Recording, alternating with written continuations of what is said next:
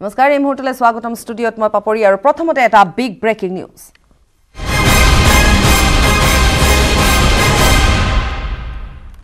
গোলাঘাটৰ নিশা ডুবিতৰ ধাৰাসাৰ গুলীচালনাৰ ঘটনা সংঘটিত হৈছে। গাঁও পঞ্চায়তৰ সভানেত্ৰীৰ ঘৰলৈ লক্ষ্য কৰি এই গুলীচালনাৰ ঘটনা গোলাঘাটৰ গণক পুখুৰী হাবিয়াল গাঁৱত সংঘটিত হৈছে এই ঘটনা।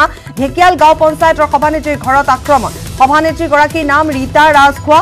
সেই সময়তে ৰীতা ৰাজখোৱাৰ ঘৰলৈ আহিছিল ডেৰগাঁৱৰ এলেংমুৰিয়াৰ বিনয় বৰা নামৰ এজন লোক। লোকজনৰ মাৰুতি ভেনখনলৈ লক্ষ্য কৰিও গুলীচালনা কৰে দুৰ্বৃত্তই নিশা ন মান বজাত সংঘটিত হৈছে এই ঘটনা। এখন ক'লা ৰঙৰ গাড়ীত আহিছিল দুৰ্বৃত্তৰ দলটো। গাড়ীৰ পৰা নামিয়ে গুলীচালনা কৰে দুৰ্বৃত্তৰ দলটোৱে।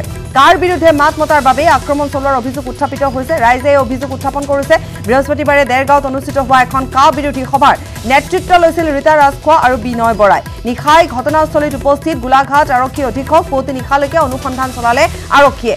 গুৰুত্বপূৰ্ণ খবৰ আমি পুনৰ এবাৰ জনাইছো এই সন্দৰ্ভত গোলাঘাটত নিশাৰ ভাগত দুৰ্বৃত্তৰ ধাৰাসাৰ গুলীচালনাৰ ঘটনা সংঘটিত হৈছে। ঢেকিয়ালতে এই ঘটনা সংঘটিত হৈছে। গাঁও পঞ্চায়তৰ সভানেত্ৰীৰ ঘৰলৈ লক্ষ্য কৰি গুলীচালনাৰ ঘটনা সংঘটিত হৈছে। কোনো দুৰ্বৃত্তই গুলীচালনা কৰাৰ ঘটনা নিশা ন বজাত এই ঘটনা সংঘটিত হৈছে। হাবিয়াল গাঁৱত দুৰ্বৃত্তৰ সন্ত্ৰাস। হিন্দীত কথা বতৰা কোৱা বুলি জানিব পৰা গৈছে। তদন্ত গোলাঘাট আৰক্ষীয়ে অব্যাহত ৰাখিছে। আৰু ৰাইজে ইতিমধ্যে জনাইছে বা অভিযোগ উত্থাপন কৰিছে যে কাৰ বিৰুদ্ধে মাত মতাৰ বাবে কোনো দুৰ্বৃত্তই গুলীচালনা কৰিছে। ৰীতা ৰাজখোৱাৰ বাসগৃহত। আৰু বৃহস্পতিবাৰে দেৰগাঁৱত কা বিৰোধী যি প্ৰতিবাদী সভা অনুষ্ঠিত হৈছিল আৰু সেই প্ৰতিবাদৰ নেতৃত্বত আছিল ৰীতা ৰাজখোৱা আৰু বিনয় বৰা। বিনয় বৰাৰ ঘৰ দেৰগাঁৱত। দেৰগাঁৱৰ পৰা সেই নিশা আহিছিল বিনয় বৰা। আৰু ন মান বজাতে এই ঘটনা সংঘটিত হৈছে। বিনয় বৰাৰ যিখন বাহন মাৰুতি ভেন আৰু সেই বাহনখনতো গুলীচালনা কৰিছে কোনো দুৰ্বৃত্তই। অৰ্থাৎ লক্ষ্য আছিল বিনয় বৰা আৰু ৰীতা ৰাজখোৱা। সেই কথা ইতিমধ্যে স্পষ্ট হৈ পৰিছে কাৰণ বিনয় বৰাৰ মাৰুতি ভেন গতিকে সেই মাৰুতি ভেনখনত গুলীচালনা কৰিছে। আমি দেখুৱাইছোঁ হাজাৰকৈ গুলী গুলীচালনা কৰে দুৰ্বৃত্তই আৰু বাসগৃহলৈ গুলীচালনা কৰিছে। বৃহস্পতিবাৰে এই ঘটনা বৃহস্পতিবাৰে দেৰগাঁৱত কা বিৰোধী সভা অনুষ্ঠিত হৈছিল। পুনৰ কৈছোঁ সেই সভাত প্ৰতিবাদৰ নেতৃত্বত আছিল ৰীতা ৰাজখোৱা আৰু বিনয় বৰা। গোলাঘাটৰ গণক পুখুৰীৰ হাবিয়াল গাঁৱত এই ঘটনা সংঘটিত হৈছে।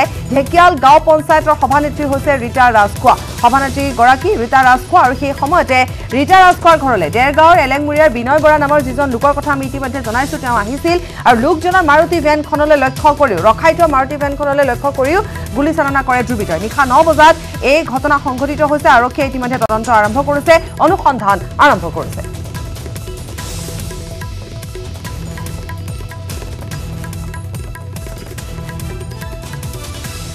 মই ঘৰৰ সন্মুখত মানে মোৰ ঘৰৰ চোতালতো বুলিব পাৰি আৰু মই মানে ভিতৰত আছিলো। আলহী দুজন আছিলে দুজন মানে চাৰিজনমান আছিলে তেখেতসকলক মই চাহ দি আছিলো। চাহ দি পেলাই শুনিছো যে আগফালে কিবা মানে ফুটিছে। ফুটা শুনি মোৰ বাচ্ছা মানে ল'ৰাটো দহ বছৰীয়া ল'ৰাটো মানে আগফালে দৌৰি ওলাই আহিছে। মই তাৰ পাছত চাইছো আহি পেলাই সি ওলাই গৈছিলেই মানে। মই ধৰি তাক এওঁ আহিলে আহি পেলাই আমি দুইটা ভিতৰলৈ টানিছো যে আহা আহা ভিতৰলৈ আহা। আহ, আমি ভিতৰত শুনিছো পুৰা গুলিয়ে আছে আৰু চিঞৰি আছে যে বলেৰৱালা বাহৰাও বলেৰৱালা বাহৰাও সেই বুলি মাৰিছে পুৰা মানে বাৰ হাজাৰ মান ফুটাইছে আৰু পুৰা ঢাপটো ঢাপটো ঘৰলৈ গুলিয়াইছে এই চাইডে একদম পুৰা চোতালত লৈ মোৰ এই চাইডে গুলিয়াইছে গুলি পৰিছেহি। হয়। বাৰান্দাত আহি গুলি পৰিছেহি আৰু পুৰা গুলিয়াইছে মানে। মানে জীয়াই থকাৰে সমস্যা এনেকুৱা হৈ গৈছে যে বাহিৰত দিনত ৰাতি ওলাবলৈ সমস্যা হৈ গৈছে। এনেকে হলে মানুহৰ গণতান্ত্ৰিক দেশখনত জীয়াই থকাৰে সমস্যা হৈ আৰু গৈছে মোৰ মানে মানুহজনৰ এখন বলেৰ গাড়ী আছে। সেই বলেৰৱালা বাহৰা মানে তেওঁকে মাতিছে। আপুনি পঞ্চায়তৰ মই সভানেত্ৰী হয় পঞ্চায়তৰ কোন পঞ্চায়ত? অ, ঢেকিয়াল গাঁও। নামটো কি আপোনাৰ? মোৰ নাম ৰূপা আৰু হাজৰিকা আপোনাৰ ঘৰলৈ যি আলহী আহিছিলে মাৰুতি ভেন সেই ভেনখনটো গুলিয়াইছে তেখেতৰ ভেনখন গোটেই গুলীয়া অৱস্থা কেনেকে কৰি থৈ গৈছে তেখেতৰ ভেনখন গোটেই ফুটা ফুটা কৰি পেলালে আৰু। আমাৰ পুখুৰীত আমি প্ৰতিবাদী কাৰ্যসূচী এটা পালন কৰিছোঁ তাকো ইমান শান্তিপূৰ্ণভাৱে প্ৰতিবাদী কাৰ্যসূচীটো আমি পালন কৰিলোঁ। হয়। তাৰপিছতে তালৈ আমাৰ মহেন্দ্ৰ হাজৰিকা আহিছিলে বিপিন চাওডাঙা আহিছিলে ধুনীয়াকৈ হৈ গ'ল। চব হৈ যোৱাৰ পিছতে আমি আহি পেলাই এই মই আহি পেলাই এওঁৰ ঘৰতে অকণমান হিচাপ নিকাচৰ কিবা কাম এটা আছিলে মানে। সৰু সুৰা। আহি পেলাই ৰ'লো প্ৰায় দহ মিনিটমান হৈছে নেকি ভিতৰলৈ গৈছোঁ বহিছোঁ। মই দেৰগাঁৱৰ পৰা আহিলোঁ আহি পেলাই তেনেকৈ ভিতৰলৈ গ'লোঁ গৈ পেলাই বহিছোঁ মই ভাবিছোঁ ছাইডতে অকণমান ইফালে ল'ৰা কিছুমানে বেডমিণ্টন খেলি আছে। ধাপ ধাপ ধাপ ধাপ ঢেৰ ফুটিছে ঢেৰ ফুটিছে আৰু আৱাজ হৈছে। তেতিয়া মই ভাবিলোঁ বেডমিণ্টন খেলা ল'ৰাকেইটা ইমান মই আমাৰ লগতে বহি থকা এজনে কৈছে যে হেৰি কোনোবাই বোম ফুটাইছে। মই বোলো বোম নহয় এইটো গুলি শব্দ। তাৰপিছতে যেতিয়া গাড়ীখনত ধাপ ধুপ আৱাজ শুনিছোঁ তেতিয়া জানিলোঁ এইটো নহয় বোম নহয় গুলি। তাৰপিছত ওলাই অকণমান আঁতৰ গ্লাছৰ মাজেদি দেখিলোঁ মানে এইটো গুলি আৱাজ হৈছে। তাৰপিছতে যথেষ্ট সংখ্যক আৰু কিমান গুলি মই অনুমানিকভাৱে ক'ব নোৱাৰিম। পিছত ওলাই আহি যেতিয়া দেখিলো যে দলটো তাৰপিছত আঁতৰি গ'ল। নহয়, আপুনি এই প্ৰতিবাদটোত মানে নেতৃত্ব লোৱাৰ কাৰণে আপোনাক গুলিয়াবলৈ চেষ্টা কৰা হৈছে আপুনি ভাবিছে? একদম নিশ্চয়কে। একদম এশ শতাংশ।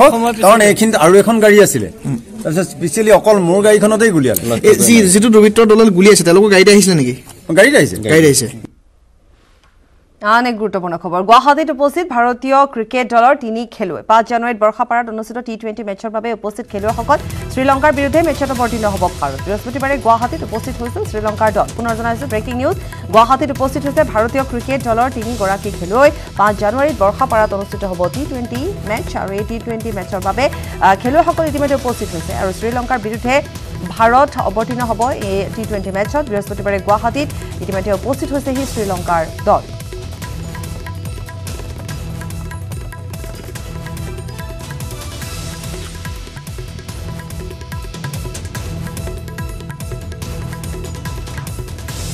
শ্ৰীলংকাৰ বিৰুদ্ধে মেচত অৱতীৰ্ণ হ'ব ভাৰত।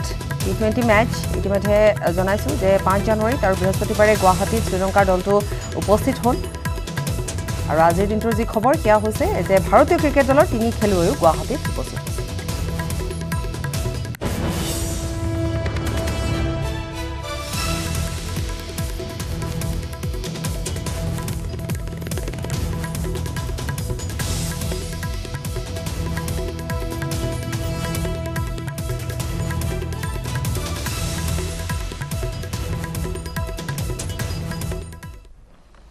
পৰীক্ষাৰ মাজতো কটনিয়ানৰ কা বিৰোধী প্ৰতিবাদ। নৌ কা লিপিবদ্ধ বেজ পৰিধান কৰি। ডিঙিত গামোচা লৈ পৰীক্ষা দিবলৈ আহিছে ছাত্ৰ ছাত্ৰীসকল আজি উচ্চতৰ মাধ্যমিক স্নাতক আৰু স্নাতকোত্তৰ পৰীক্ষা। একাংশ ছাত্ৰ ছাত্ৰীয়ে মূল প্ৰৱেশ দুৱাৰত পৰীক্ষাৰ্থীক প্ৰদান কৰিছে বেজ। নৌ কা আমি নামানো। এই বেজ পৰিধান কৰি পৰীক্ষা দিবলৈ আহিছে। ডিঙিত গামোচা লৈ পৰীক্ষা দিবলৈ আহিছে কটনিয়ান। অব্যাহত আছে কাৰ বিৰোধী প্ৰতিবাদ? আৰু সেই প্ৰতিবাদৰে সাক্ষ্য সাক্ষী বহন কৰি এনেধৰণে বেজ পৰিধান কৰি আহিছে ছাত্ৰসকল ছাত্ৰীসকল। আৰু আজি যিহেতু পৰীক্ষা মূল প্ৰৱেশদ্বাৰত পৰীক্ষাৰ্থীক বেজ প্ৰদান কৰা হৈছে আৰু পৰীক্ষাৰ্থীসকলে এই বেজ পৰিধান কৰি পৰীক্ষা দিবলৈ আগবঢ়া দেখিবলৈ পোৱা গৈছে। চৰকাৰে বহুত সময়ত কৈছে যে ছাত্ৰসকলে প্ৰতিবাদ গুৰুত্ব নিদি পেলাই নিজৰ পঢ়া শুনাত বেছি গুৰুত্ব দিব লাগে। তেওঁলোকক এটা কথা জনাব বিচাৰিছোঁ যে আমাৰ ছাত্ৰ হিচাপে আমাৰ দায়িত্ব আছে নিজৰ পঢ়া শুনা আমাৰ মা দেউতাৰ এটা সপোন আছে। আমাৰ ইউনিভাৰ্চিটিত পঢ়াইছোঁ কটনত পঢ়াইছোঁ ভাল পঢ়া শুনা কৰি আগবাঢ়িব। আমি সেইটো আমি বৰ্তাই ৰাখিছোঁ। আমাৰ ছাত্ৰ হিচাপে যোনটো দায়িত্ব আমি সেইটো পালন কৰিছোঁ। আৰু তাৰ ঊৰ্ধত আমাৰ যোনটো আই মৈত্ৰীৰ প্ৰতি আমাৰ দায়িত্ব সেই দায়িত্ব আমি পালন কৰিছোঁ। আজি বেজ পৰিধান কৰি লৈ পেলাই আমি প্ৰতিবাদ কৰি আছোঁ। আজি পৰীক্ষা আমাৰ যেতিয়া আমাৰ এখন চি এ বি হৈ আছিলে তেতিয়াৰ পৰা আমি আন্দোলন চলাই আছিলোঁ আৰু সেই পৰিপ্ৰেক্ষিতত আমাৰ কিছু সংখ্যক ছাত্ৰ ছাত্ৰীয়ে পৰীক্ষাত অৱতীৰ্ণ হ'ব নোৱাৰিলে। কিন্তু আজি চি এ বিৰ পৰা আমাৰ পৰীক্ষা বাতিল হোৱাৰ পিছতো আমাৰ চি এ এ হ'লেই। গতিকে আমি এতিয়াও এই সমদল আমাৰ আন্দোলন অব্যাহত ৰাখিছোঁ। গতিকে আমি এটা মৌন প্ৰতিবাদ হিচাপে আজি পৰীক্ষাত অৱতীৰ্ণ হ'ব অহা ছাত্ৰ ছাত্ৰীসকলক আমি এটা ক'লা বেজ দিছোঁ আৰু সকলোকে গামোচা বা যিকোনো জনজাতীয় গামোচা লৈ আহিবলৈ কৈছোঁ। ই আমাক আমাৰ এক মৌন প্ৰতিবাদ আচলতে। আমি চৰকাৰক সকীয়াই দিব বিচাৰিছোঁ যে তেওঁলোকে যি কৈছে যে কটনিয়ানে কেৱল বা ছাত্ৰ সমাজে কেৱল ৰাজপথত আন্দোলন কৰিছে যাৰ বাবে পৰীক্ষাত ক্ষতি হ'ব বা পঢ়া শুনাত ক্ষতি হ'ব। কিন্তু আমি দেখুৱাই দিব বিচাৰিছোঁ যে আমাৰ পঢ়া শুনা ক্ষতি নকৰাকেও আমি পৰীক্ষাত অৱতীৰ্ণ হৈও আমি আন্দোলন সমান্তৰালভাৱে চলাই নিব পাৰিম। প্ৰথম কথা মোৰ তিনিজনী মায়ে এতিয়া বহুত ডাঙৰ প্ৰেছাৰ লৈ আছে। প্ৰথম কথা মোৰ যিয়ে জন্ম দিছে মোৰ নিজৰ মা। তাৰপিছতে মোৰ মাতৃভাষা আৰু মোৰ জন্মভূমি। আপোনালোকে দেখিছে যে কটনিয়ানে হওক বা ডিব্ৰুগড় বিশ্ববিদ্যালয়ৰ ছাত্ৰ ছাত্ৰীয়ে হওক বা সমগ্ৰ ছাত্ৰ সমাজে এই নাগৰিকত্ব সংশোধনী বিধেয়কখনৰ বিৰুদ্ধে আগতীয়াকৈ লাগি আছিলে আৰু কেতিয়াও কেব মনা নাছিলে। কিন্তু আজিও আমাৰ সেই কথা আমি কেতিয়াও কা নামানো। কাৰণ যিমান যি ধৰণৰ তেওঁলোকে ষড়যন্ত্ৰ নকৰক কিয় যিমান আমাক তেওঁলোকে মষিমূৰ কৰিবলৈ আমাৰ আন্দোলনটো চেষ্টা নকৰক কিয় আমি কটনিয়ানে আমি কেতিয়াও আমি আন্দোলনটো আমি কেতিয়াও থমকি নৰয়। কাৰণ আমি কৈছিলোঁ যে আমি পৰীক্ষাও দিম আমি আন্দোলনো কৰিম। আমি ক'ব বিচাৰিছোঁ কটনিনে আমি পঢ়োঁ আমি প্ৰতিবাদো কৰোঁ। সেইকাৰণে আমি কা বিৰোধী আন্দোলন আমি সজাগতা আমি সকলোৱে ৰাখিব লাগিব। আৰু সেইকাৰণে আমি আজি নৌকা আমি বেজ আৰু গামোচা মাৰি আহিছোঁ যাতে আমি নৌকা আমি প্ৰটেষ্ট দেখাইছোঁ আৰু গামোচা অসমৰ যে আমাৰ স্বীকৃতি সেইটো দেখাইছোঁ যে অসমত কা নামানো আৰু কেতিয়াও নামানো। আমি পৰীক্ষা দিলেও আমি পঢ়ি হ'লেও পৰীক্ষা দিম। আমি কটনিয়ানে সদায় কাৰ এগেইনষ্টত উঠি আছোঁ। অসম সাহিত্য সভাৰ নিৰ্বাচনৰ ফলাফল ঘোষণা কৰা হৈছে। অসম সাহিত্য সভাৰ সভাপতি পদত জয়ী কুলধৰ শইকীয়া। কুলধৰ শইকীয়াই লাভ কৰিছে দুশ ঊনষাঠিটা ভোট। উপ সভাপতি পদত নিৰ্বাচিত মৃণালিনী দেৱী। মৃণালিনী দেৱীয়ে লাভ কৰে দুশ আঠান্নব্বৈটা ভোট। যাদৱ শৰ্মা প্ৰধান সম্পাদক হিচাপে নিৰ্বাচিত হৈছে। যাদৱ শৰ্মাই তিনিশ বাৰটা ভোট লাভ কৰিছে। অসম সাহিত্য সভাৰ পৰৱৰ্তী সভাপতি কুলধৰ শইকীয়া। সাহিত্য সভাৰ শুৱালকুছি অধিৱেশনৰ সভাপতিত্ব কৰিব কুলধৰ শইকীয়াই। কিছুদিন পূৰ্বে আৰক্ষী সঞ্চালক প্ৰধান পদৰ পৰা অৱসৰ গ্ৰহণ কৰিছিল কুলধৰ শইকীয়াই। পুনৰ জনাইছো। অসম সাহিত্য সভা নিৰ্বাচনৰ ফলাফল ইতিমধ্যে ঘোষণা কৰা হৈছে। অসম সাহিত্য সভাৰ সভাপতি পদত জয়ী হৈছে কুলধৰ শইকীয়া। কুলধৰ শইকীয়াই লাভ কৰিছে দুশ ঊনষাঠিটা ভোট। উপ সভাপতি পদত নিৰ্বাচিত হৈছে মৃণালিনী দেৱী। মৃণালিনী দেৱীয়ে দুশ আঠান্নব্বৈটা ভোট লাভ কৰিছে। যাদৱ শৰ্মা প্ৰধান সম্পাদক নিৰ্বাচিত হৈছে। যাদৱ শৰ্মাই তিনিশ বাৰটা ভোট লাভ কৰিছে। অসম সাহিত্য সভাৰ পৰৱৰ্তী সভাপতি কুলধৰ শইকীয়া আৰু সাহিত্য সভাৰ শুৱালকুছি অধিৱেশনৰ সভাপতিত্ব কৰিব কুলধৰ শইকীয়াই। কিছুদিন পূৰ্বে আৰক্ষী সঞ্চালক পদৰ প্ৰধান পদৰ পৰা অৱসৰ গ্ৰহণ কৰিছিল। কুলধৰ শইকীয়াই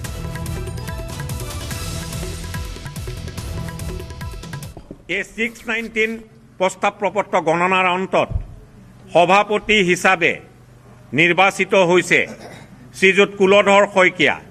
তেখেতে ভোট লাভ কৰিছে মুঠ ভোটৰ পৰিসংখ্যা হৈছে টু ছিক্সটি নাইন দুশ ঊনসত্তৰ মহামান্য দুহেজাৰ বিছ বাইছ বৰ্ষৰ অসম সাহিত্য সভাৰ উপ সভাপতি হিচাপে নিৰ্বাচিত হৈছে শ্ৰীযুতা মৃণালিনী দেৱী ডাঙৰীয়ানী।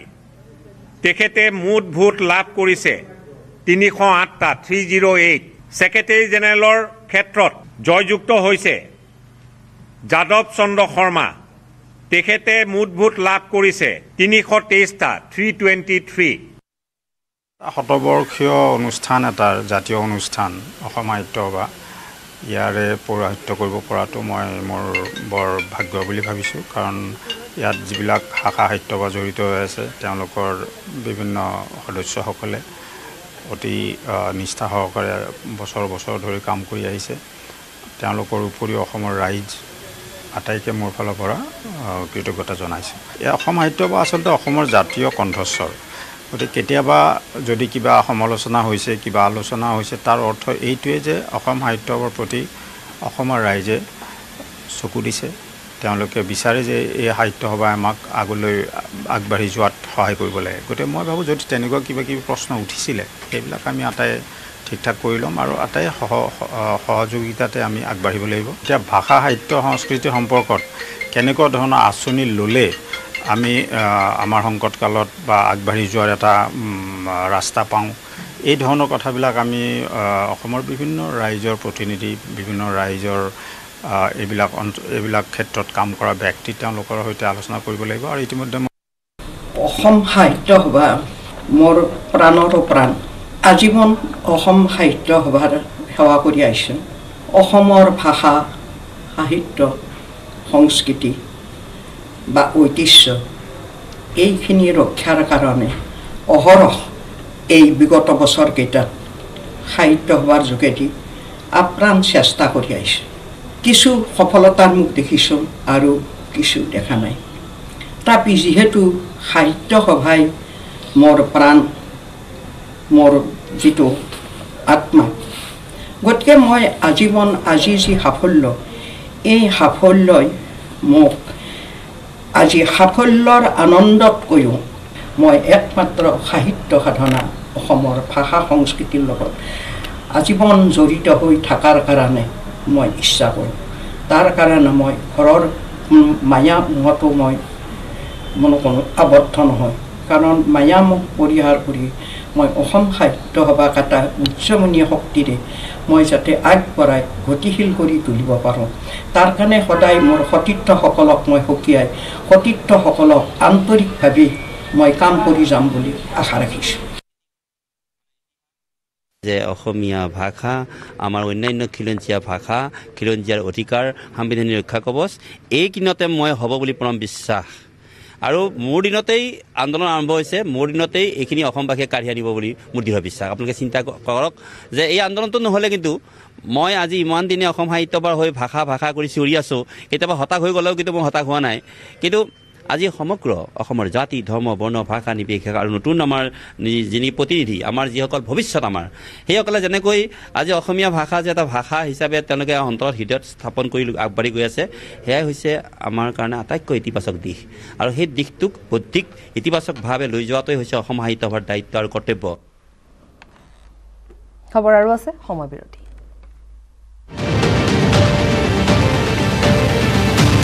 স্বাগতম বিৰতিৰ পাছত। যোৰহাটৰ উপায়ুক্তৰ কাৰ্যালয়ৰ কেলেংকাৰী নিতৌ ন ন তথ্য পোহৰলৈ আহিবলৈ ধৰিছে। দীপক বৰা নামৰ উপায়ুক্ত কাৰ্যালয়ৰ নিলম্বিত কৰ্মচাৰীগৰাকীয়ে বেংকৰ পৰা ছখন চেক যোগে উলিয়াই নিয়া প্ৰায় আঠসত্তৰ লাখ টকাৰ ঘটনাৰ সৈতে বেংক কৰ্মচাৰী জড়িত থকাৰ সন্দেহ এইবাৰ ঘনীভূত হৈ পৰিছে। এই সন্দৰ্ভত বেংক কৰ্তৃপক্ষই প্ৰকাশ কৰা নিজৰ স্থিতিৰ বিপৰীতে পোহৰলৈ আহিছে কেতবোৰ বিস্ফোৰক তথ্য। আমি ইতিমধ্যে এই সন্দৰ্ভত জনাই গৈছিলো সবিশেষ খবৰ। আৰু শেহতীয়া যি ন ন তথ্য উদ্ধাৰ হৈছে সেই সন্দৰ্ভত জনাইছো।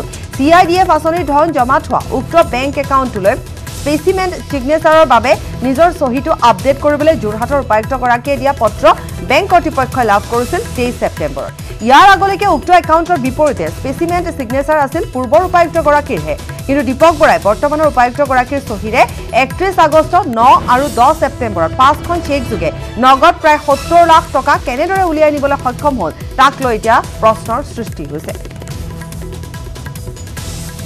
আৰু কিহৰ ভিত্তিত বেংকে উলিয়াই দিছে এই টকা? আৰু ইতিমধ্যে আমি জনাই গৈছোঁ যে এইগৰাকী দীপক বৰা যিগৰাকী নিলম্বিত হৈছে আৰু ইতিমধ্যে এই সমগ্ৰ ঘটনা সন্দৰ্ভত ন ন তথ্য উদ্ধাৰ হ'বলৈ ধৰিছে।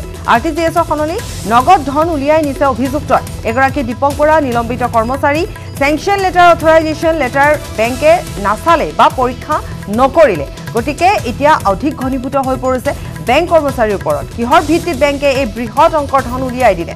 সমগ্ৰ ঘটনা ৰহস্যৰ আৱৰ্তত কিন্তু প্ৰায় প্ৰতিদিনে ন ন তথ্য উদ্ধাৰ হ'বলৈ ধৰিছে এই সন্দৰ্ভত।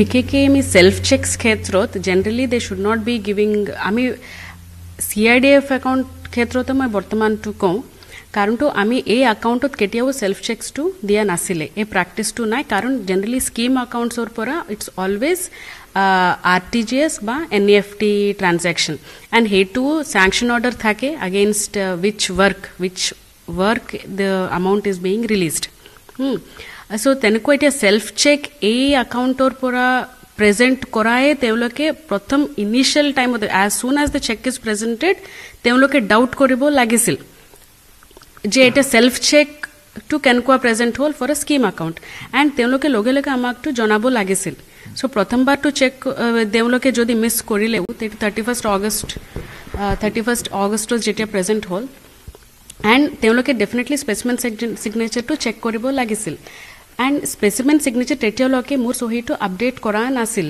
আগৰ ডি চি ছাৰৰ স্পেচিমেন ছিগনেচাৰে আছিলে for C I D F account আমাৰ একো ট্ৰানজেকশ্যনটো হোৱা নাছিলে so' that's why we did not update the specimen signature till then যিয়ে হওক কিন্তু এতিয়া ছয়খন চেকছটো প্ৰেজেণ্ট কৰা হ'ল বেংকত চ' লগে লগে before honouring those cheques they should have contacted us যে এনেকুৱা এটা হৈছিলে বুলি কিন্তু নাই হোৱা এণ্ড এতিয়া আমি তেওঁলোকক এতিয়া আমি মেছেজটো পাম যদি কিবা টকাটো মে বি ডিপজিট বা ক্ৰেডিট বা ডেবিট হ'লেও আমাৰ মোবাইল নম্বৰত আমি মেছেজটো পাওঁ এই কোনটো মোবাইল নম্বৰ লিংকড আছিলে সেইটো তেওঁলোকে এতিয়ালৈকে আমাক দিব পৰা নাই যদি সেইটো হ'লহেঁতেন তেতিয়া it would have been hurry so' that is the second issue and third পইণ্টটো হ'ল এতিয়া ছখন চেকছ যদি আমি ধৰক ইলেকশ্যন সময়ত আমি চেল্ফ চেক আমি দিওঁ ফৰ কেছ পে'মেণ্ট কাৰণটো আমি কিছু কেছ পে'মেণ্টছটো কৰিব লাগে পল পাৰ্চনেল ৰেমুনাৰেশ্যনে হওক যিয়ে হওক। চ' তেতিয়া we give only a single cheque এতিয়া কেছ পে'মেণ্টছ বুলি ছখন চেকছটো তেওঁলোকে তেতিয়াও সন্দেহটো হ'ব লাগিছিল। ওদালগুৰিত আছু নেতাৰ বাহনত আক্ৰমণ। আছু নেতাজনৰ বাহনলৈ লক্ষ্য কৰি শিলা বৰ্ষণ। ঘটনাত ক্ষতিগ্ৰস্ত হৈছে চাৰিচকীয়া বাহনখন। বাহনৰ লাইটৰ আপাৰ ডিপাৰক লৈ দুই বাইক আৰু হীৰা সংঘাত। আছু নেতা ইমতাজুল আলীৰ বাহনত আক্ৰমণ। পানেৰী আঞ্চলিক শাখা ছাত্ৰ সন্থাৰ সম্পাদক ইমতাজুল আলী। ইমতাজুলৰ সৈতে বাহনখনত আৰোহী হিচাপে আছিল বন্ধু ফিৰোজ আলী সহ পৰিয়ালৰ দুগৰাকীকৈ মহিলা। ওদালগুৰিৰ পৰা পানেৰী অভিমুখে আহি আছিল বাহনখন আৰু তাৰ পাছতে এই ঘটনা সংঘটিত হৈছে। বাহনৰ লাইটৰ আপাৰ ডিপাৰক লৈ বাইক আৰোহীৰে সংঘাতৰ সৃষ্টি হৈ আছু নেতা ইমতাজুল আলীৰ বাহনত আক্ৰমণ কৰে এইসকল লোকে।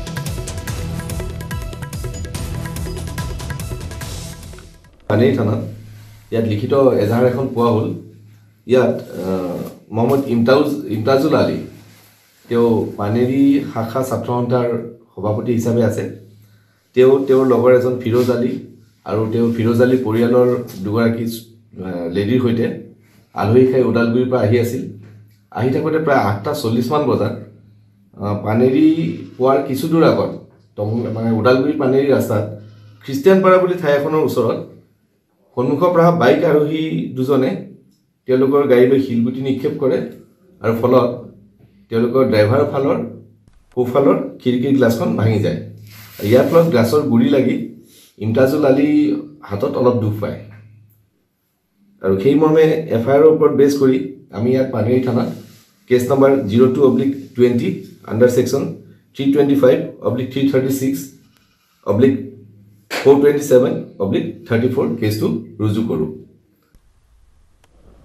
নগাঁও আৰক্ষীৰ জালত মষ্ট ৱান্টেড ডকাইত। চামগুৰিৰ দুধৰ্ষ ডকাইত নবী হুছেইনক গ্ৰেপ্তাৰ কৰা হৈছে। ধৃত নবী হুছেইনৰ পৰা এটা নাইন এম এম পিষ্টল এখন আল্টো বাহন জব্দ কৰা হৈছে।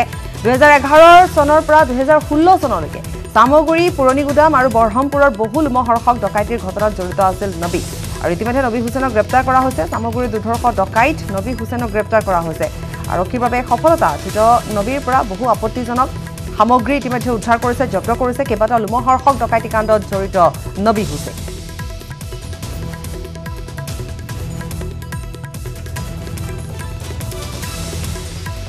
ইনফৰমেশ্যন পালোঁ আৰু তাৰপিছত এটা অপাৰেশ্যন লঞ্চ কৰা গৈছে এইটো চিক্ৰেট ইনফৰমেশ্যনৰ পৰা এনেকুৱা খবৰ পালোঁ কি এইটো কিবা এটা মানুহ কুখ্যাত ডাকেত এটা আৰ্মছ লৈ এইটো কিবা এটা প্লানিং কৰি আছে। তো এই গাড়ী নাকা লগাই ছাৰপ্ৰাইজ নাকা লগাই গাড়ী এটা অল্টো গাড়ী। Registration number A S zero' one S C two three four three intercept কৰা গৈছে। আৰু তাৰ পৰা এটা মানুহ এপ্ৰিহেণ্ড কৰা গৈছে Mohammad Nabi Hussain. Son of Barnuddin village काउमारियो पर रूपो यार्ड पी एस ओ कर रहा है और तार पड़ा एटा नाइन एम एम पिस्टल और three rounds of live ammunition recover करा गई से ये आगोत हिस्ट्री सीटर हासिल है आगोत एक बार जेल गई से बहुत आगोत की बात केस होत और आज ये वेपन लगोत अरेस्ट हुई से চিৰাঙত অস্ত্ৰসহ এন ডি এ বি সংবিজিতৰ দুই লিংকমেনক গ্ৰেপ্তাৰ কৰা হৈছে। বেংটলৰ আই নদীৰ পাৰৰ পৰা দুই লিংকমেনক গ্ৰেপ্তাৰ কৰা হৈছে। ধৃত দুই লিংকমেন চনচুমা মুছাহাৰী আৰু পেট্ৰুছ নৰজাৰী দুই উগ্ৰপন্থীৰ পৰা গুলীসহ এটা পিষ্টল জব্দ কৰা হৈছে। সেনা আৰক্ষীৰ যুটীয়া অভিযানত দুই উগ্ৰপন্থীক গ্ৰেপ্তাৰ কৰা হৈছে। চিৰাঙত বেংটলৰ আই নদীৰ পাৰৰ পৰা দুজন লিংকমেনক গ্ৰেপ্তাৰ কৰিছে। আৰু N D A B Songbijit গোটৰ ধৃত দুই লিংকমেন চনচুমা মুছাহাৰী আৰু পেট্ৰুছ নৰজাৰী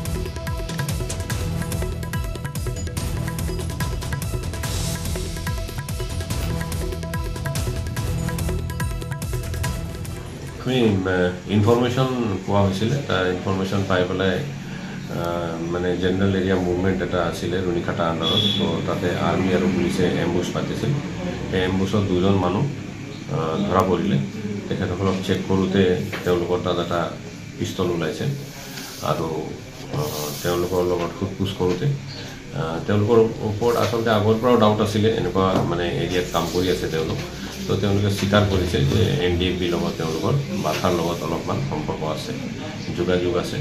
তো এতিয়া তদন্ত চলি আছে তেওঁলোকৰ সোধ পোছ কমপ্লিট হোৱা নাই। এতিয়া সোধ পোছ কৰাৰ পিছত আমি গম পাম যে ইনভলভমেণ্টটো কিমান বেছি আছে।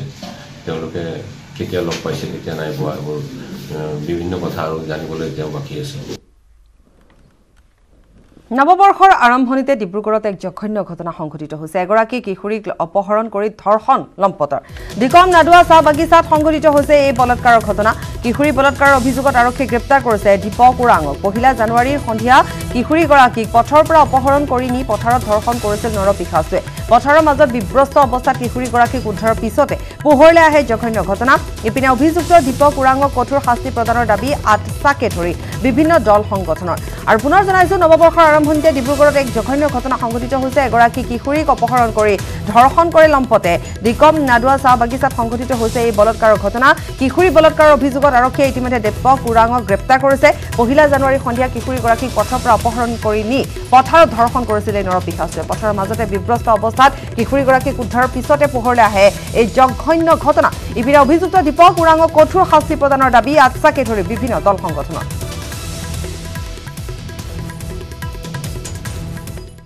সন্ধিয়া চাৰে পাঁচটামান বজাত। এগৰাকী সোতৰ বছৰীয়া নাবালিকা ছোৱালী তাই নাদোৱা গ্ৰামটোলৈ লগৰীয়া ছোৱালীৰ লগত ফুৰিবলৈ আহিছিলে আৰু তাই পুনৰ ঘূৰি যোৱাৰ অৱস্থাতে দীপক ওৰাং নামৰ ল'ৰা এজনে আন্ধাৰৰ সুযোগ লৈ তেওঁক পথাৰৰ মাজলৈ টানি লৈ যায় আৰু তাতে মানে তেওঁক ধৰ্ষণ কাৰ্য কৰে। আৰু পিছতে আমি লগে লগে খবৰ পাই পিনি আসামীজনক কাৰাপ্ত কৰিবলৈ সক্ষম হওঁ আৰু মানে অপহৃতাগৰাকীকো উদ্ধাৰ কৰিবলৈ আমি সক্ষম হওঁ। খবৰ আৰু আছে? সময়বিৰতি পাছত। নাগৰিকত্ব সংশোধনী আইনৰ বিৰুদ্ধে পাঁচ জানুৱাৰীত শিল্পী সমাজৰ প্ৰতিবাদী কাৰ্যসূচী। জুবিন গাৰ্গৰ নেতৃত্বত বিশাল প্ৰতিবাদী সমদল উলিয়াই বিতৰ্কিত আইনৰ বিৰুদ্ধে সাব্যস্ত কৰিব প্ৰতিবাদ। জালুকবাৰী ডক্টৰ ভূপেন হাজৰিকা সমাধি ক্ষেত্ৰৰ পৰা দীঘলী পুখুৰীলৈ শিল্পী সমাজে উলিয়াব প্ৰতিবাদী সমদল য'ত অংশগ্ৰহণ কৰিব বিভিন্ন শিক্ষানুষ্ঠানৰ ছাত্ৰ ছাত্ৰীৰ লগতে বিভিন্ন দল সংগঠনে। নাগৰিকত্ব সংশোধনী আইন প্ৰত্যাহাৰৰ বাবে ৰাইজক ঐক্যবদ্ধ হৈ ওলাই আহিবলৈ আহ্বান জনালে জুবিন গাৰ্গে।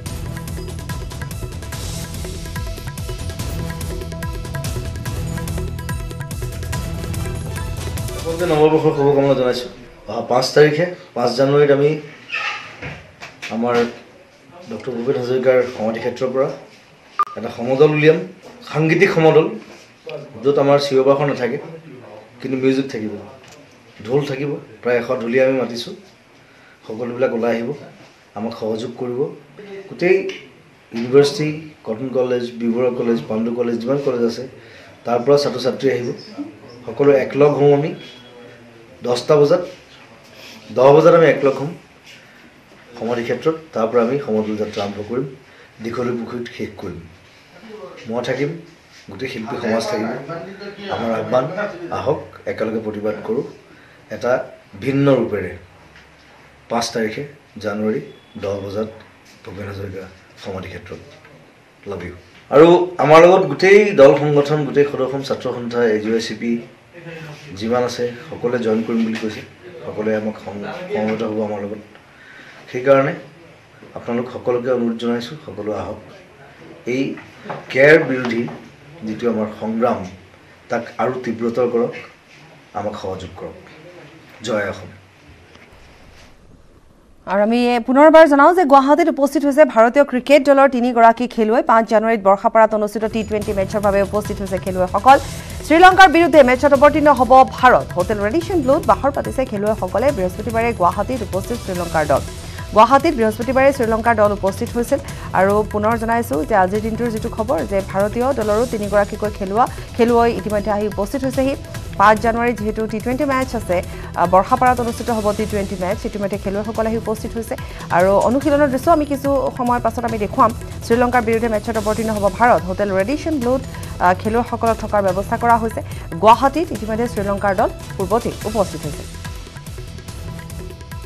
ইতিমধ্যে হোটেল ৰেডিশ্যন ব্লুত উপস্থিত হৈছে খেলুৱৈসকল আৰু আমি কিছু সময়ৰ পাছত আমি দেখুৱাম যে খেলুৱৈসকল উপস্থিত হোৱাৰ দৃশ্য আমি দেখুৱাই যাম আৰু লগতে আমি পুনৰবাৰ জনাইছোঁ যে শ্ৰীলংকাৰ দল ইতিমধ্যে আহি উপস্থিত হৈছে শ্ৰীলংকাৰ খেলুৱৈসকল আহি ইতিমধ্যে উপস্থিত হৈছে আৰু শেহতীয়া যি খবৰ আজিৰ দিনটোৰ সেয়া হৈছে ভাৰতীয় ক্ৰিকেট দলৰ তিনিগৰাকীকৈ খেলুৱৈ ইতিমধ্যে আহি গুৱাহাটীত উপস্থিত হৈছে। ৰেডিশ্যন ব্লুত তেওঁলোকক ৰখাৰ ব্যৱস্থা কৰা হৈছে। আমাৰ সাংবাদিক আছে আমি দেখুৱাম কিছু সময়ৰ পাছতে। ইতিমধ্যে আমি দেখুৱাই গৈছোঁ যে আহ, বিমানবন্দৰত উপস্থিত হোৱাৰ দৃশ্য দেখুৱাইছোঁ। হোটেল ৰেডিশ্যন ব্লুত খেলুৱৈসকলক ৰখাৰ ব্যৱস্থা কৰা হৈছে। পাঁচ জানুৱাৰীত যিহেতু আছে বহু প্ৰত্যাশিত বহু আকাংক্ষিত টি টুৱেণ্টি মেটচ আৰু ক্ৰীড়াপ্ৰেমীসকলে অধীৰ অপেক্ষাৰে বাট চাই আছে পাঁচ জানুৱাৰী দিনটোৰ বাবে। আৰু ইতিমধ্যে ভাৰতীয় ক্ৰিকেট দলৰ তিনিগৰাকীকৈ খেলুৱৈ আহি উপস্থিত হৈছে। উৎপল হালৈ আমাক আৰু অধিক খবৰ জনাব। ৰাজধানী চহৰ গুৱাহাটী মহানগৰী ক্ৰমত পৰ্যবেক্ষিত হৈছে খেলৰ নগৰীলৈ। যদিহে চোৱা যায় পাঁচ তাৰিখে অনুষ্ঠিত হ'ব ভাৰত আৰু শ্ৰীলংকাৰ মাজত আন্তঃৰাষ্ট্ৰীয় খেল।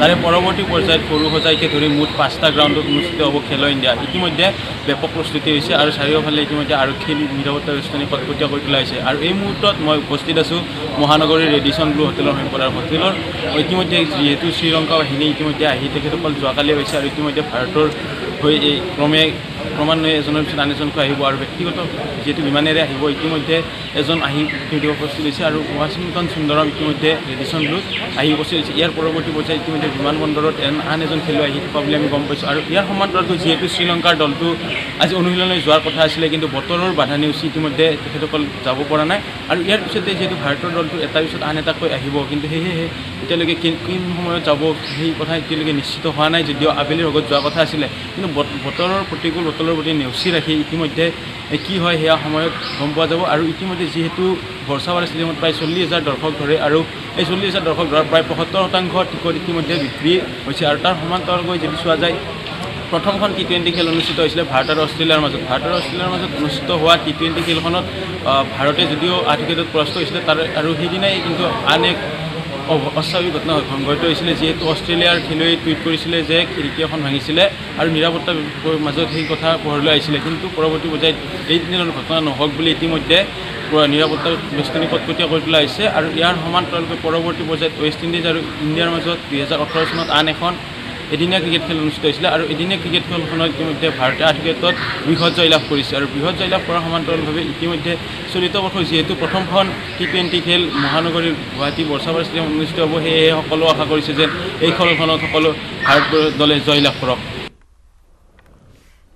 কামপুৰত অব্যাহত আছে বন্য হস্তীৰ সন্ত্ৰাস। নিশা কামপুৰৰ কহাৰ গাঁও আৰু বন্য হস্তীয়ে ভাঙি চুৰমাৰ কৰিলে চাৰিটাকৈ বাসগৃহ কহাৰ গাঁৱৰ ভূপেন বে অৰূপ শইকীয়া দিলীপ সতনামী আৰু প্ৰতীপ প্ৰতাপ সতনামী নামৰ লোকৰ বাসগৃহৰ ক্ষতি সাধন কৰাৰ লগতে পটিয়াপামৰ ভৱেন বৰাৰ ঘৰৰ ৰান্ধনী ঘৰ ভাঙি লণ্ডভণ্ড কৰে বন্য হস্তীৰ জাকটোৱে চাংজোৰাই আৰু চাংচকী অঞ্চলত বহু বিঘা সৰিয়হৰ খেতি অনিষ্ট কৰাৰ লগতে ঘৰত থকা ধান খাই তহিলং কৰিলে হাতীৰ জাকটোৱে কামপুৰৰ বিগত এটা মাহে বন্য হস্তীৰ দলটোৱে সন্ত্ৰাস চলাইছে কামপুৰ অঞ্চলত।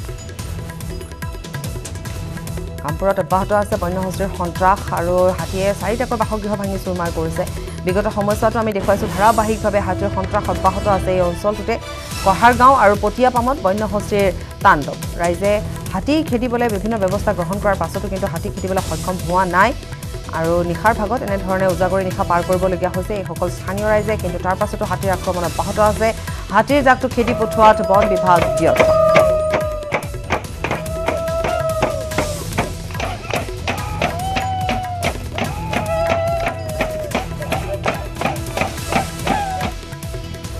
আমাৰ এই অঞ্চলত কামপুৰ আৰু জুমলামখৰে মাজখণ্ডতে আৰু। প্ৰায় এমাহ ধৰি সন্ত্ৰাস চলাই আছে। আজি দুদিনমানৰ আগতে এই ট্ৰেইন লাইনৰ দক্ষিণ ছাইডে আহিছে।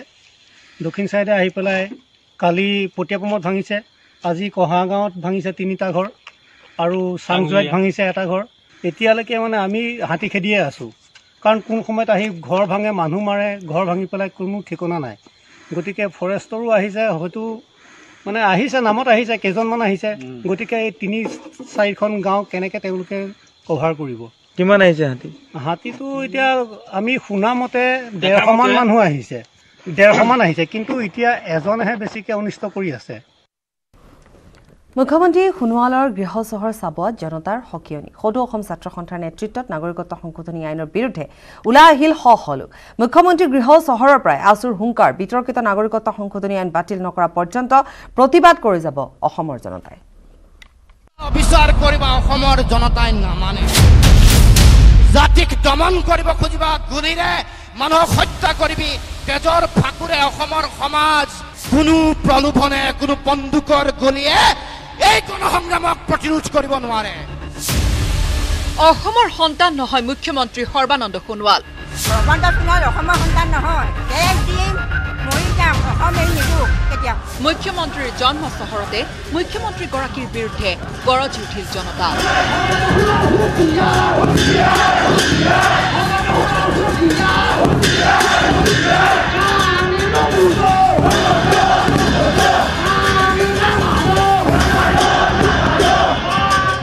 মাতৃসমগৰাকীয়েও সকিয়নি দিলে মুখ্যমন্ত্ৰীগৰাকীক মাতৃসম কোনোবাগৰাকীয়ে দেশখন ৰাখিবলৈ কৰজোৰে অনুৰোধ জনালে মুখ্যমন্ত্ৰীক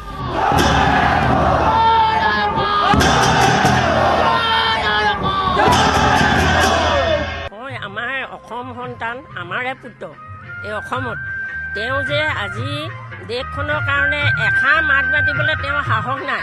আমি অনুৰোধ কৰিছোঁ তেওঁক হাত কজোৰ কৰি তেওঁ যাতে দেশখন আকৌ পুনৰ যাতে ঘূৰাই আনক পাতি ধৰম ৰাজ আগবাঢ়ি যাম। তেওঁ আমি মাটি এৰি নিদিওঁ দেশ এৰি নিদিওঁ জাতি মাটি ভেটি এইটো ৰক্ষা কৰিবৰ কাৰণে ৰাইজৰ ওচৰত ইমান সেৱা জনাইছিলে। আমাৰ নামঘৰ মন্দিৰত সকলোতে তেখেতে সেৱা জনাই পানি আগবাঢ়ি আহিছিলে। আমিও আশীৰ্বাদ কৰিছিলোঁ। সেইজন সৰ্বানন্দ আজি যে এনেকুৱা এটা দেশত ইমান হুলস্থুল কৰিব আৰু এনেকুৱা এটা যে মানুহক অশান্তি কৰিব বুলি আমাৰ ভবাই নাছিল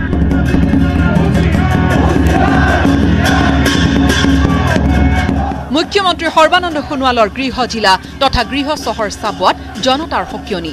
পুৱাৰ কুঁৱলী সনা শীতকো নেওচি আঁচুৰ আহ্বানত চাবুৱাৰ কলেজ ফিল্ডত সমবেত হ'ল হাজাৰ হাজাৰ লোক।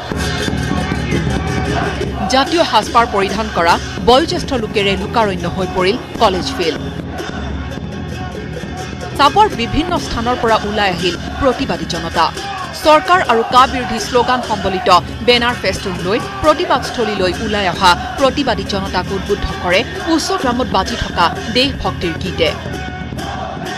গৃহ চহৰৰ পৰাই মুখ্যমন্ত্ৰী কাছুৰ সকিয়নি কা বাতিল নকৰিলে একেলগে হেৰুৱাব জনতা আৰু ক্ষমতা। হুংকাৰ দিলে কা বাতিল নকৰা পৰ্যন্ত অব্যাহত থাকিব প্ৰতিবাদ। আজি দুহেজাৰ বিছ চনৰ দ্বিতীয়টো দিনত আমি জনতাই আজি মুখ্যমন্ত্ৰীক সকিয়নি প্ৰদান কৰিব বিচাৰিছোঁ। এই কলা আইনখন যদি আপোনালোকে বাতিল নকৰে জনতাই কিন্তু আপোনালোকক সেৱা নকৰিব। বছৰৰ প্ৰথম দিনটোত আমি অন্নখনে আৰম্ভ কৰিছোঁ দ্বিতীয় দিনটোত সকিয়নি প্ৰদান কৰিছোঁ। আপোনালোকে যদি ৰাইজৰ মনৰ কথা নুশুনে জনতা আৰু ক্ষমতা দুয়োটা একেলগে হেৰুৱাব। মুখ্যমন্ত্ৰী গৃহ চহৰ পৰাই স্পষ্টকৈ জনাব বিচাৰিছো এই আন্দোলন দীৰ্ঘদিনীয়া হ'ব। যেতিয়ালৈকে কাখন বাতিল নহয় তেতিয়ালৈকে আমাৰ আন্দোলন চলিব। যি জাতিয়ে নিজৰ ভাষা কাঢ়ি লৈ যোৱাৰ পাছতো পুনৰবাৰ ভাষাটোক ঘূৰাই আনিল। চাবুৱাৰ প্ৰতিবাদস্থলীত উপস্থিত থাকি উদাত্ত ভাষণ দিলে সদৌ অসম ছাত্ৰ সন্থাৰ সাধাৰণ সম্পাদক লুৰিণজ্যোতি গগৈয়ে। অসমৰ জনতাই কোনো কালে কাৰো ওচৰত আঁঠু লৈ দ্বিতীয় শ্ৰেণীৰ নাগৰিক হিচাপে জীয়াই নাথাকে। কোনো বাংলাদেশীৰ লগত অসমৰ জনতাই আঁঠু লৈ দ্বিতীয় শ্ৰেণীৰ নাগৰিক হিচাপে জীয়াই নাথাকে এই কথা নিশ্চিত চৰকাৰে ভয় খুৱাই বোলে বদৰুদ্দিন আজমল মুখ্যমন্ত্ৰী। আৰে বদৰুদ্দিন আজমলক মুখ্যমন্ত্ৰী হ'বলৈ এইটো নিদিওঁৱে শিলাদিত্য আমি অসমৰ মুখ্যমন্ত্ৰী হ'বলৈ নিদিওঁ এই কথা। অসমৰ শিল্পী সমাজেও অংশগ্ৰহণ কৰে চাবুৱাৰ জনতাৰ সকিয়নি শীৰ্ষক প্ৰতিবাদী কাৰ্যসূচীত।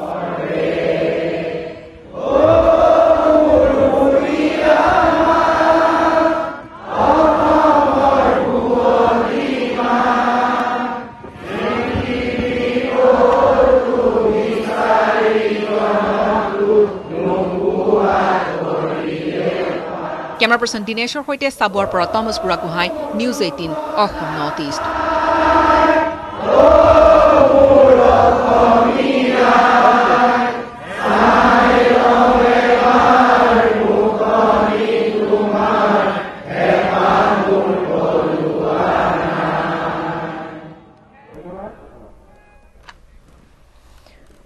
অসমীয়াৰ হেঁপাহৰ ভোগালী বিহু সমাগত। সকলো অসমীয়া এতিয়া ব্যস্ত মেজি আৰু ভেলাঘৰ নিৰ্মাণত। এইবাৰ ওদালগুৰি জিলাৰ উদলা গাঁওবাসীয়ে চুবুৰীয়া ৰাষ্ট্ৰ ভূটানৰ ৰাজপ্ৰসাদৰ আৰ্হিত নিৰ্মাণ কৰিবলৈ লৈছে এটা ভেলাঘৰ। গাঁওখনৰ বিৰাল্লিছটা পৰিয়ালে উৰুকাৰ নিশা ৰাজদৰবাৰতে একেলগে খাব সম্প্ৰীতিৰ এসাঁজ। সেয়েহে গাত তৰণি নোহোৱা হৈছে উদলা গাঁওবাসীৰ। বৰ অতি সুন্দৰ এক দৃশ্য আমি এই মুহূৰ্তত দেখুৱাইছোঁ আৰু ৰাইজৰ মাজৰ উৎসাহ ইতিমধ্যে পৰিলক্ষিত হৈছে। বিহুলে মাজত মাত্ৰ আৰু যিহেতু কেইটামানহে দিন আছে গতিকে এতিয়া ব্যস্ত হৈ পৰিছে। ভোগালী বিহুৰ বাবে সকলো।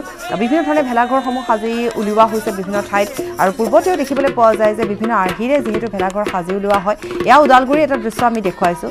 উদলাবাসী এনেধৰণে ব্যস্ত হোৱা দেখিবলৈ পোৱা গৈছে। ভূটানৰ ৰাজপ্ৰসাদৰ আৰ্হিত নিৰ্মাণ কৰিছে এই বিশেষ ভেলাঘৰটো। আৰু ভেলাঘৰটো চাবলৈ যথেষ্ট সংখ্যক লোক এতিয়াৰ পৰাই তাত যোৱা দেখিবলৈ পোৱা গৈছে।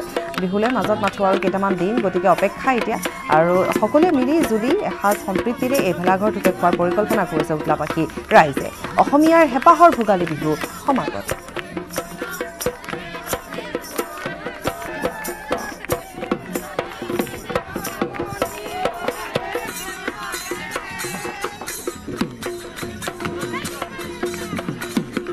কা বিৰোধী সংগ্ৰামৰ মাজতে ভোগালী বিহুক আদৰাৰ প্ৰস্তুতি ইতিমধ্যে চলিছে। উদা আমাৰ সাংবাদিক ৰিপুঞ্জয় নাথৰ এক প্ৰতিবেদন আগবঢ়াইছে। অসমীয়াৰ হেঁপাহৰ ভোগালী বিহু সমাগত। আৰু এই হেঁপাহৰ ভোগালী বিহুৰ প্ৰতীকী ভেলাঘড়ী ৰূপত এটা ভূটানৰ ঘৰ এটা নিৰ্মাণ কৰিছে যি ভূটান আমাৰ চুবুৰীয়া ৰাষ্ট্ৰ ভূটান ওচৰতে আছে। গতিকে ভূটানৰ ঘৰ এটা নিৰ্মাণ কৰিছে ভূটানৰ যি ঘৰবিলাক নিৰ্মাণ কৰে সেই ঘৰৰ নিৰ্মাণৰ প্ৰতীকী ভেলাঘৰ নিৰ্মাণ কৰিছে। এই হৈছে ওদালগুৰি জিলাৰ উদলাৰ এই তামোলবাৰী গাঁৱৰ এই ৰাইজ এইদৰে ওলাই আহিছে। আৰু এয়ে হৈছে বিহুৰ উৎসাহ অসমীয়াৰ হেঁপাহৰ ভোগালী বিহুৰ উৎসাহ। সকলো ডেকাৰ পৰা বুঢ়লৈকে সকলো ওলাই আহিছে ওলাই আহি এইদৰে নাচিছে। গতিকে এটা কথা ক'ব লাগিব যে যি কা বিৰোধী আন্দোলনেও কিন্তু ভেলাঘৰ বনোৱা বা অসমীয়াৰ ভোগালী বিহু যি পৰম্পৰা পিছ পেলাব পৰা নাই বা তল পেলাব পৰা নাই, যি স্থানীয় লোক আছে তেওঁলোকৰ পৰা মই জানিব বিচাৰিম। গতিকে এইদৰে সকলোৱে নাচি বাগি ওলাই আহিছে। গতিকে এটা কথা ক'ব লাগিব এইদৰেই। গতিকে মই তেওঁলোকৰ ওচৰলৈ যাম মানে। এফাকি গান গান গাব দিম। এটা গান গাই দিয়া।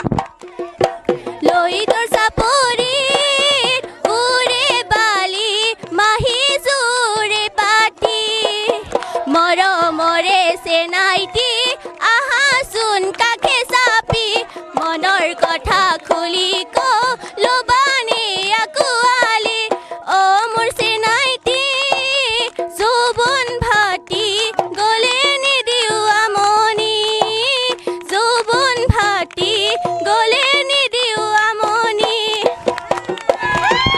হৈছে বিহু অসমীয়াৰ হেঁপাহৰ ভোগালী বিহু। যিজন ইয়াৰে বিহুটোৰ এই ভেলাঘৰটো নিৰ্মাণ কৰাৰ মুখ্য যিজন নেতৃত্ব লৈছে তেওঁৰ পৰা মই জানো- দাদা কি বনাইছে? আচলতে এইটো আমি পোন্ধৰ দিনমান আগত ভূটানত গৈছিলোঁ। ভূটানত যাওঁতে এই পাহাৰৰ কিনাৰত এটা ঘৰ দেখা পালোঁ। সেই ঘৰটোকে আমি চাই এনে বনাইছোঁ আৰু। সেইটোৱে সেইটোৱে হ'ল ভূটানৰ ঘৰ আৰু এইটো। ইয়াতে কি কি থাকিব? খানা উৰুকাৰ নিশা খানতে আমাৰ গাহৰি মাংস থাকিব মুৰ্গী থাকিব খাচী থাকিব মাছ থাকিব মুঠতে চবখিনি থাকিব আৰু আমাৰ। চব থাকিব। কিমান ঘৰ মানুহ জড়িত? আমি ইয়াতে এনে বিয়াল্লিছ ঘৰ আছোঁ। বিয়াল্লিছ ঘৰে খাম আৰু। কেনেকুৱা লাগিছে? বিহু আহিছে কি বনাইছে? বহুত ভাল লাগিছে বহুত ভাল লাগিছে। আপোনালোকৰ আজি এই উপস্থিতিত বহুত ভাল লাগিছে। আমাৰ কোনো বছৰে এনেকুৱা বছৰে বনাওঁ বছৰে বনালেও আমি যেনে ইয়াতে আপোনালোকৰ আজি উপস্থিতিত বহুত ভাল লাগিছে। আৰু মোক বেলেগে ক'ব লগা কাৰণে মোৰ আগৰজনে কি কি খানাত কি কি থাকিব? খানাত আমাৰ গাহৰি মাংস থাকিব তাৰ ছাগলী হাঁহ পাৰ আদি কৰি গোটেইগুলো থাকিব। চব থাকিব। খানা এতিয়া চলিছে নাই? খানা যোৱাকালি এটা জানুৱাৰী হৈছিল জানুৱাৰী খালোঁ আকৌ পাঁচ তাৰিখে খাম আৰু ইফালে বিহুত খাম আৰু। হয় আচলতে এয়ে হৈছে এই সকলোৱে নাচি আছে এইদৰে নাচাত পৰিলক্ষিত হৈছে। যে অসমীয়াৰ হেঁপাহৰ ভোগালী বিহু দিছিলে সকলোৱে নাচি লগে ডেকাৰ পৰা বৃদ্ধলৈকে সকলো ওলাই আহিছে ওলাই আহি এইদৰে নাচিছে। যে এটা কথা ক'ব লাগিব যে অসমীয়াৰ যি পৰম্পৰা ভোগালী বিহু সেই ভোগালী বিহু যেন যে কা বিৰোধী আন্দোলনেও মান পেলাব পৰা নাই। গতিকে এটা কথা ক'ব লাগে কেনেকুৱা লাগিছে বিহু আহিছে? বহুত ভাল লাগিছে। খানা মঙহ মাছ কণী এইবিলাক এইবিলাকে থাকিব আৰু। কেনেকুৱা লাগিছে বিহু আহিছে ভাল লাগিছে ভাল খানা কি কি খাবা কি কি থাকিব খানা গাহৰি হাঁহ ছাগলী অঁ গাহৰি হাঁহ ছাগলী চবে থাকিব সকলোৱে এইদৰে নাচি বাগি লৈছে এয়ে হৈছে অসমীয়াৰ হেঁপাহৰ ভোগালী বিহু আৰু এই ভোগালী বিহুক লৈ যেন উচাহ মাল যোৱা নাই অসমীয়াবাসীৰ এই মুহূৰ্তত আৰু খবৰ আছে। সময় পুনৰ বিৰতি।